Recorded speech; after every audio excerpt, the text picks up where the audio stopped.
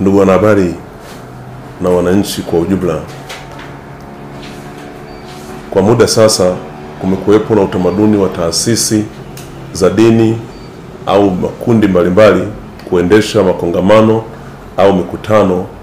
ya mkesha siku ya tarehe 31 Disemba kwa lengo la kuwaga kuaga mwaka unaoisha na kuukaribisha mwaka mpya. Makongamano au mikutano hiyo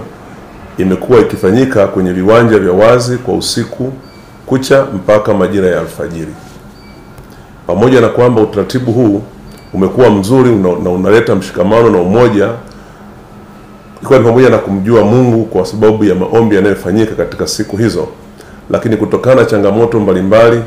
na hasa za kiusalama katika kipindi hiki, serikali inaagiza kwamba utaratibu huo na uendeshaji wa makongamano ya au mikutano maeneo ya wazi usiku kucha usiwepo mwaka huu katika mikoa yote ya Tanzania na badala yake makongamano na mikutano hiyo ifanyike kwenye maeneo ya nyumba za ibada na mwisho iwe ni saa sita na nusu usiku. Aidha, iwapo kutakuwa na ulazima wa kufanya kufanyia kwa makongamano au mikutano siku ya tarehe 31 Disemba 2020, basi taasisi inaweza kuomba kibali kwenye mamlaka husika zinazotoa vibali na kwamba mikutano au makongamano hayo yafanyike katika kipindi cha mchana, wakati wa mchana kuanzia saa kumi na mbili asubuhi hadi saa kumi na mbili jioni. Taasisi zote zenye utamaduni wa aina hii zinaagizwa kuzingatia maelekezo ya serikali kwa kipindi hiki hadi itakavyoelekezwa vinginevyo. Aidha, ukiukwaji wa maelekezo haya utahesabika kuwa ni ukiukwaji wa maelekezo halali ya serikali na hatua zipasazo zitachukuliwa. Nawatakia kila la heri katika mwaka mpya wa 2021 na msherekee kwa amani, utulivu na usalama. Aidha, liko tukio ambalo limetokea siku ya tarehe 28 mwezi wa 12 mwaka 2020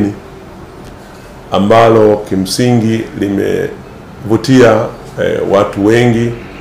na lenyewe ni tendo la kishujaa la askari wa jeshi la zimamoto na uokoaji namba ZM 3847 Koplo Dennis Bryson Minja ambaye anatoka wilaya ya Karagwe mkoa wa Kagera kwa kushirikiana na askari wenzie na wananchi walifanikiwa kumwokoa mtoto mwenye umri wa miaka miwili akiwa ametumbukizwa katika shimo la choo. Alitumbukia kwenye shimo la choo, na maelezo ya awali yanaonyesha kwamba mtoto yule alikuwa anamfuata mama yake akidhani yuko chooni, na baadaye akakuta ametumbukia kwenye kile choo. Tendo lile ni la kishujaa sana, na sisi kama serikali na mimi kama waziri ninatamani kupata fursa ya kumshika hata mkono, na kwa hivyo eh, kwa kukumbuka pia kwamba ni kijana huyu huyu askari huyu huyu tarehe 21 mwezi wa tano mwaka 2020 pia katika shule ya msingi Murugwanza wilaya ya Ngara alifanya tukio la kishujaa la namna hii kwa kumwokoa mtoto mdogo kwenye shimo la choo. Hali hii imevuta hisia za watu wengi na wadau wa ndani na nje ya nchi, na hivyo wengi wanapenda kutambua kazi yake ya ujasiri na uhodari, lakini pia za kishujaa alizozifanya, ikiwa ni pamoja na upendo kwa watoto. Kwa hiyo na mimi kama waziri ningependa nichukue nafasi kumwagiza kamishna jenerali, pamoja na kwamba nimeambiwa amemwandikia barua ya kumpongeza na miezi mi, kama sita iliyopita tu alimpa cheo e, na kwa hivyo na mimi ningetamani pia nipate fursa ya kumshika mkono na kutambua e, mchango mkubwa huu anaofanya kwa upendo kwa wenzake kwa, kwa, kwa binadamu wenzake, lakini si jambo dogo kuingia kwenye shimo la choo katika hali ambayo tumeona na nafikiri clip ile imetembea tembea watu wanaona. Kwa hiyo tunampongeza sana na natamani aletwe basi, kamishna jenerali angalie utaratibu mzuri na amlete yeye mwenyewe kwenye ofisini kwangu ili na sisi tuweze kutambua na kumpongeza kijana huyu.